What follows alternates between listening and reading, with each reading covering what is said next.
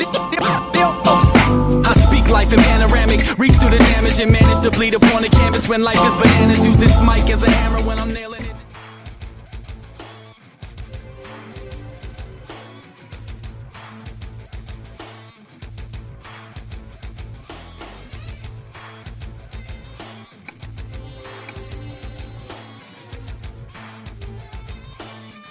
Bienvenidos sean una vez más a nuestro canal Camioneros Virtuales.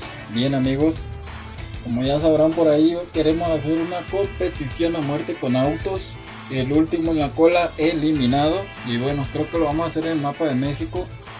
Llovió un poco, pero pues ya se calmó, así que vámonos con esto. Entonces bueno gente, en esta ocasión les voy a compartir un carro que me gusta mucho, de una serie que me gusta mucho también, de un juego que también me gusta bastante. Obviamente aquí casi solo jugamos camiones y eso, pero también tengo esos jueguitos de autos.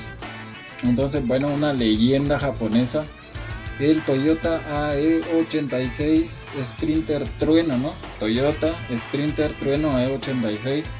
Y en este caso el de Takumi. Y bueno, créditos a su respectivo creador del mod, ¿no? De funcionar en la 47, salió para la 44. El auto, o sea, yo le puse el skin y lo modifiqué así como lo ven, ¿no? O sea, simplemente lo enchulé, digamos, ¿no? Enchulé un poco la máquina para que sea parecido al de Takumi. Ojo que este no tiene un skin, hagan de cuenta que es como un tributo para el AE86 trueno de Takumi en ATS. Así que no se puede pintar. Entonces, bueno, marca con modificaciones, Toyota. Y bueno, así nos aparece. Y bueno, los rines eh, no se lo puedo sacar al otro auto porque los autos están bloqueados. Entonces, lo siento. Estos son stock del auto en el cual lo armé o en el cual lo modifique, por decirlo así, ¿no? Entonces, cabina solo tiene una, chasis solo una, motores agregué un par por ejemplo, el original es el de el 1604 AGE, yo agregué el 22R, el 2400 y el RE26D. Bueno, una simulación de 26D, ¿no?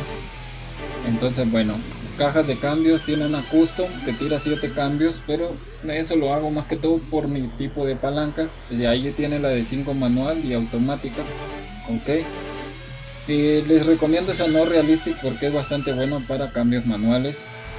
Y bueno, agregados simplemente nada. Lo único son los foquitos que trae por defecto. Simplemente los pinté. Y una luz interior que no sé cómo le haya quedado, pero bueno, algo es algo. Y bueno, en cuestión de rines, estos son los únicos que trae por defecto.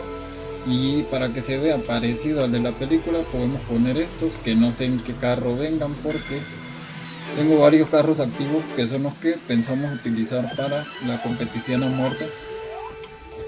Pues estén pendiente de la comunidad que ya voy a ir empaquetando el, paquete de autos que vamos a utilizar. Bueno, el interior, el interior es así, básico, simple. ¿A qué va? Así que bueno, por si les gusta este carro, ahí se los dejo. Vamos a comprarlo.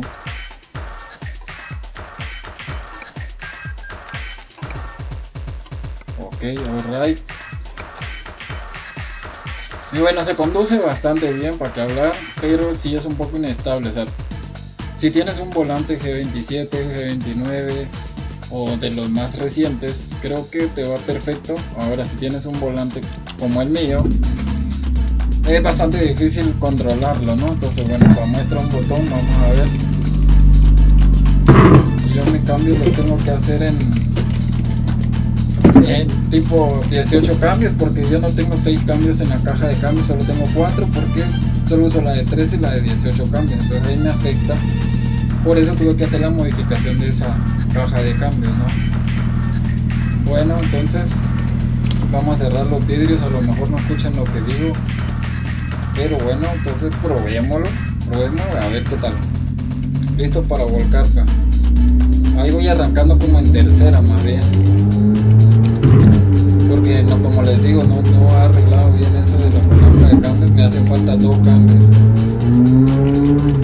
Para hacer drift está muy bueno, está muy bueno, se derrapa fácilmente, incluso en el primer cambio.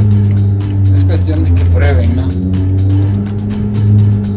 Yo lo quise sacar porque pues, para variar. Más adelante vamos a compartir el, Supra FNIS porque todavía me falta arreglarlo. Este no sé si funciona en multiplayer, quizá más, más al rato lo pruebe con el buen Fallen, a algo para el buen Fallen. Entonces vamos a ver qué pasa gente. A ver, es bastante difícil controlarlo. Pero es por el volante, pues al menos los volantes que los volantes de lujo te avisan como cuando ya vas a derrapar, ¿no? Según me cuentan por ahí, nunca he tenido un volante de lujo, pero me hago el quite, me hago el quite. Bueno, hay que intentar. Este tipo de curvas está muy complicado. Aparte, el motor que agarré es el más fuerte. Obviamente, pues, es cuestión de práctica. Yo carros casi nunca conduzco aquí, hasta ahora que se me ocurrió hacer. Pero mira ese potencial, papá, tengo miedo juego peligroso.